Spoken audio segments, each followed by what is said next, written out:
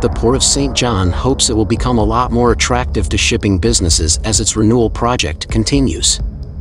The west side of the port is undergoing a major overhaul, with dredging to allow for larger vessels and improved dock sites. The project would also see the addition of two new cranes at the west side container terminal.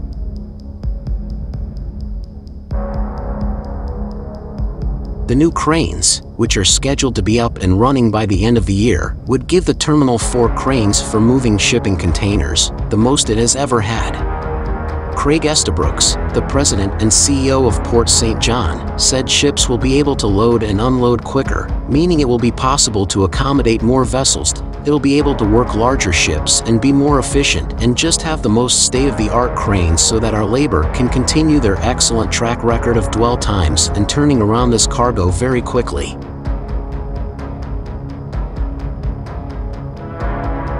He said the addition of the new cranes will help the port get more goods into the supply chain and will complement the growing number of rail connections into the port.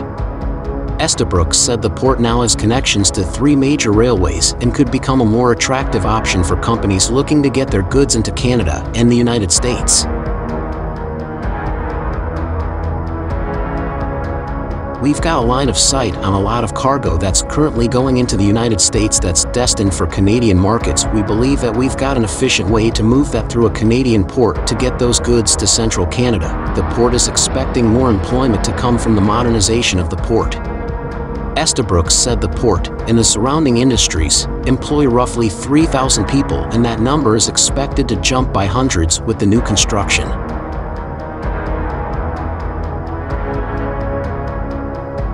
And those new employees will need to be trained, which is why the port has invested in a crane simulator with government funding.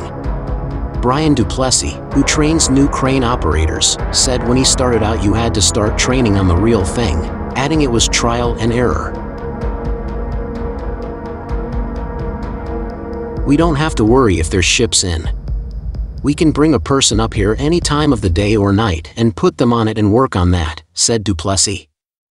If a person is struggling on a ship, we can bring a person up on working that aspect of it so that they get better instead of losing productivity on the ship.